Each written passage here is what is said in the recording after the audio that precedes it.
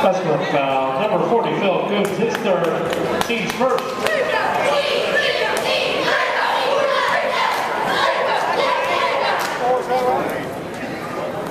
Yeah!